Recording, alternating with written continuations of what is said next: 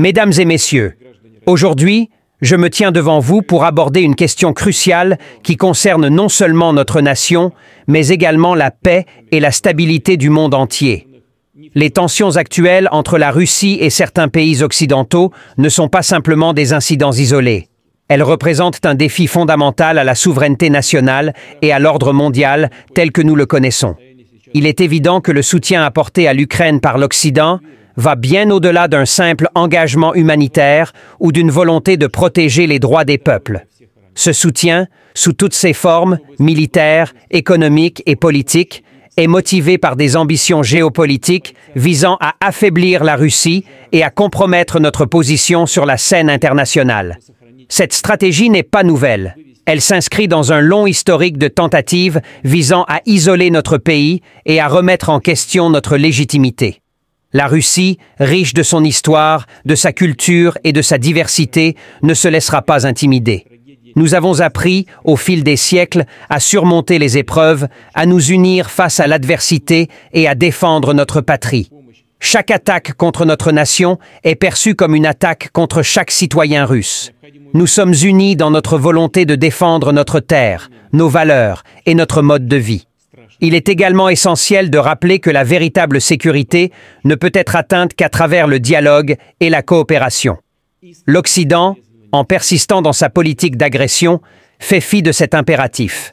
Les sanctions, les menaces et les provocations ne mèneront qu'à une escalade des tensions et nous ne pouvons pas rester passifs face à cette dynamique destructrice. La paix ne se construit pas par la force, mais par la compréhension mutuelle et le respect des droits de chaque nation. Je vous appelle donc à un débat ouvert, à une réflexion approfondie sur les conséquences de ces actions. Il est temps pour les dirigeants occidentaux de prendre conscience que la Russie n'est pas un ennemi à abattre, mais un partenaire potentiel dans la construction d'un avenir commun, basé sur des principes de justice et d'équité. Nous avons beaucoup à offrir, une culture riche, des ressources naturelles abondantes et une volonté de collaborer sur des enjeux globaux tels que le changement climatique, la lutte contre le terrorisme et la sécurité énergétique.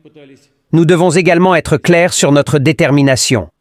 Toute tentative de manipulation ou d'agression sera rencontrée par une réponse ferme et résolue.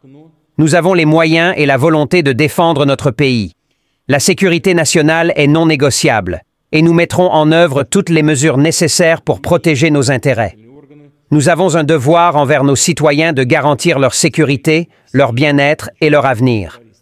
En conclusion, je tiens à réitérer notre engagement envers la paix et la sécurité.